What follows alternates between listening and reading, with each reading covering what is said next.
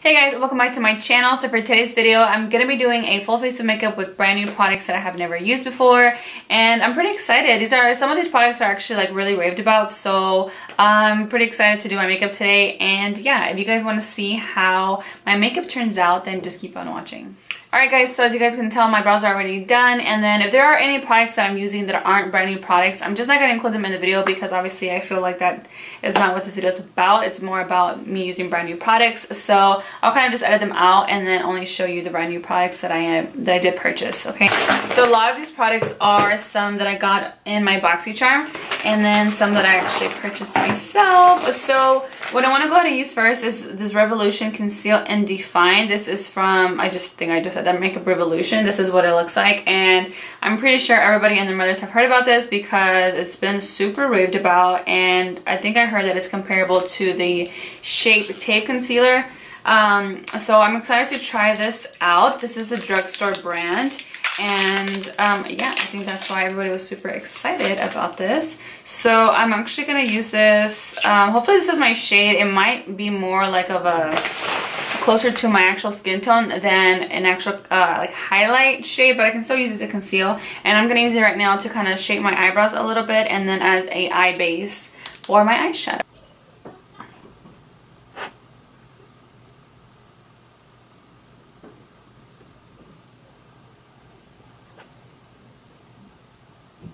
So I'm just going to also just kind of drag it down my lid because I'm going to actually use this as an eye base.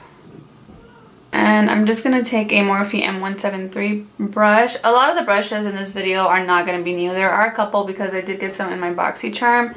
And then I actually did also get some with my Morphe subscription that I haven't used. Um, but a lot of these brushes will not be new. I'll let you guys know which ones are brand new and which ones are not. Okay, cool. All right, so I'm just gonna do the other eye. I'll be right back. All right, guys, so as far as eyeshadow goes, I'm gonna go ahead and use this Alamar palette. This is such a pretty palette. Um, I did show it to you guys in my BoxyCharm. And yeah, I've been waiting to use this palette for this video, so I haven't used it yet. And I'm gonna go ahead and start with Cocoa Taxi, or Cocoa Taxi, which is this one right here. And I'm just gonna pick that up with a blending brush, and I'm just gonna put it all over the crease. And I kind of just like um, put it down here and then I'll go ahead and then blend it out. But because I actually haven't been putting setting powder on my lids to set them because my eyelids are actually not like really oily so they don't set like really quickly or anything like that or crease on me. Um, and if I do start to notice something like that, I just go ahead and um, blend it out really quickly and, and they're pretty much gone. I just seem to like this technique a little bit better so I've been doing that lately and yeah. And what I'm kind of gonna do I'm just gonna do one eye on camera and then I'll finish the other one off of camera. That way this video is not too long because that always somehow happens to me. I'm just picking a little bit more up and I'm just kind of building the color up right here right on my crease. I'm actually going to go ahead and go on with this Tropico color um, with the same exact blending brush. And I'm just going to start, ooh, that one picked up really nicely on my brush. Right under Coco Taxi, but like a little bit almost over it, if that makes a little bit of sense. Alright, so now I'm going to go in with a Morphe E17 brush. And I'm going to go ahead and pick up a little bit of Cafecito, which is this brown right here. You know what, I even want to kind of mix it with this yeah let's go for it this is guantanamera and i'm gonna go ahead and just mix both and put that on my outer crease. And i'm picking up those two colors like little by little. I'm honestly not putting too much on my brush because i really don't know like how the color payoff will be. And with dark colors i'd rather start off a little bit slowly and like build it versus putting a whole bunch of color on there and then trying to diffuse it. I kind of feel like those two colors, and now it sucks because I don't know which one it is, but I feel like I'm not really getting much of Guantanamera or Cafecito. Like I feel like I'm mixing them and I'm kind of adding them, but I don't really, I'm not really getting that much color off of it, which is really weird. I'm going to go ahead and switch brushes. Alright guys, so my camera actually died while I was filming, of course, um, but I went ahead and just caught up on my other eye, so now they look the same. Um, but basically, um, I just finished putting these two shades, the Guantanamera and Cafecito, like on my outer crease, like right outer V. And I do have to say, those two are a little bit more like patchy, and it's kind of hard to say which one. And most likely is this one right here. Um, it's just it was just a little bit harder to blend and even when I did it just seemed like patchy and I would put a little bit more and it would kind of just like fade away. It was really odd. Um, but anyways moving on I'm just gonna go ahead and cut my crease a little bit here in the front of my lips and then I'm either gonna put one of these two shimmer shades on there. I'm not sure which one let me just go ahead and swatch them really oh that one's really pretty so this is right here this one is called um, let me see so this one, my middle finger is called El Male, oh, El Malecon. And then the this one right here on my index is La Costa. So I'm just going to go ahead and swatch them. oh my goodness, these shades are so pretty. I think this is the exact same reaction I had when I swatched the other ones. But wow, that is beautiful. I think I think I'm gonna go ahead and go with El Malecon. It's such a pretty color. I don't actually think I have like a shimmer like this. So I'm just gonna go ahead and put that in my on my lid. So I'll be right back. I'm gonna go ahead and cut them and then I'll be right back when I'm gonna go ahead and put the shade on there. Alright guys, so I just went ahead and kind of like have cut my crease a little bit just to see if this color will stand out even more. But again, I'm using El Malecon. And this is a uh, MAC 242 brush. Oh wow, that is so freaking pretty. Wow. And by the way, I didn't put like any Fix Plus on this brush or anything. I did have concealer on here because I was um, kind of use it to cut my crease a little bit. But I haven't put Fix Plus, so what I'm going to do is I'm going to do this side with no Fix Plus and then I will go ahead and spray it and just to see the difference. But by itself, it's already so pretty that you don't even need to add Fix Plus, honestly. Alright, so I'm just going to spray my brush. Oh wow, that's so pretty.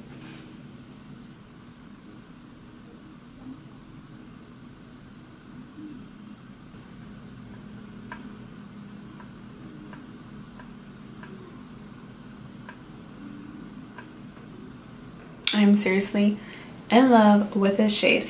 So I'm just going to go ahead and um, try to blend out right here.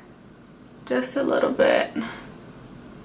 And I actually went ahead and picked up a little bit of these two colors to kind of blend that out.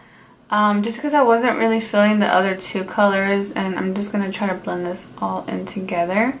So I'm going to go ahead and take La Costa and I'm just going to put that in my inner corners. I'm not sure that it'll really show just because this color is so vibrant and bright, but let's see. I do have a new foundation that I'm going to be using. This is the Estee Lauder Double Wear Foundation and I am in the shade Cashew 3W2. Um, I've heard a lot of good things about this foundation so I'm super excited to try it. Um, I feel like I might be in between shades but we'll see. Right now I'm like super tan so we'll see if this works out. And I'm going to go ahead and apply it with this Morphe Y7. I've never tried this brush and it was actually in my... Um, Morphe subscription, my Morphe brushes. So I already uh, went ahead and primed my face and I'm just going to go ahead and dot this all over um, my face and see how it applies. I know like I've heard so many good things about this. I really hope I like it. I feel like honestly I have so many foundations but I'm always on the hunt for a good foundation as well. Alright, so I'm just to go ahead and blend it out with this brush. I think it's a pretty good match. I don't think it's actually that bad. Um, hmm, I like this brush. It's pretty fast at spreading out the foundation and applying it, so I do like that. And I don't even tell you guys, but while I'm applying this, I'm to go ahead and read what this foundation claims.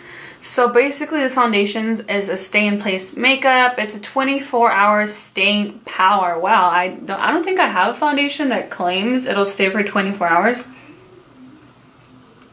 So that's cool. And it says, it looks fresh and flawless through heat, humidity, non-stop activity. Won't change color, which that's good, thank you. And it says it won't smudge or come off on clothes What? Okay, okay, Estee Lauder. And then what else? Lightweight and so comfortable, you won't believe it's long wear. Medium buildable coverage, buildable coverage, sorry. Won't clog pores, oil controlling. Wow, this foundation definitely claims a lot. So we shall see. I'm actually going out after this. So you know what? I'm gonna let you guys know in the description box. Um, because obviously by the time I edit and upload this video, Basically, I just went ahead and applied um, the Makeup Revolution concealer. I'm going to go ahead and blend this out. I might end up, um, I'm just going to spray this. I might end up putting like a little bit of a lighter concealer under there. Maybe. I don't know. Let's see how this looks.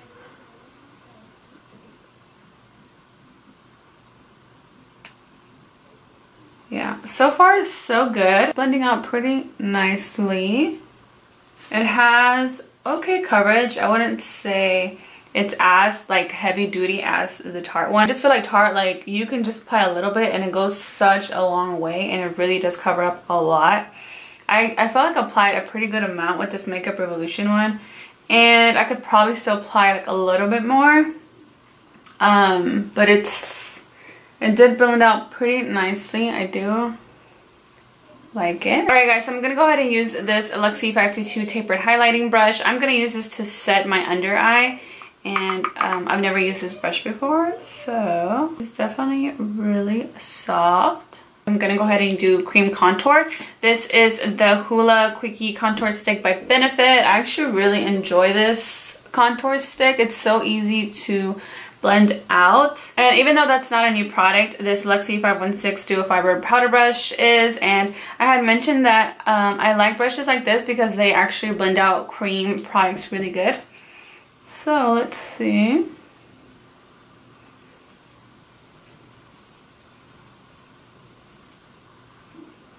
Okay, just off the bat, it's really, really soft, but it's actually a little too flimsy for me. I like these brushes to be just a little bit more stiff and it's a little bit like too flimsy and too long, I feel like.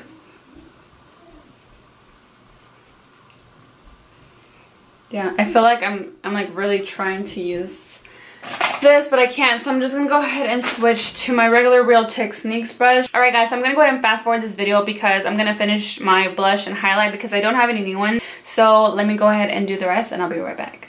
Alright you guys, so I actually also have an eyeliner that I wanted to try out. This is an LA Perfect Precision eyeliner. This is in the shade Cobalt. Alright, so I'm just going to go ahead and apply this on my lower lash line. Oh wow. That was so easy to apply. It was so nice. I'm pleasantly surprised. I actually really, really like this. Alright, you guys, last but not least, I have some lip liners. And these are from LA Girl. Um, I've been, I have like a whole bunch that I ordered. And these I have not opened yet because I wanted to do them on here. But I have tried this line of lip liners from LA Girl. And they were so good. So I doubt these will um, disappoint me because the other ones were so bomb. But I'm trying to figure out what color. I think I'm going to go ahead and do this one and maybe this in the center. So yeah, let's go ahead and open these. I have not opened them. As you guys can see, they're still sealed. So this is called Satin Plum. And let's see. I have to get really close to my mirror, okay?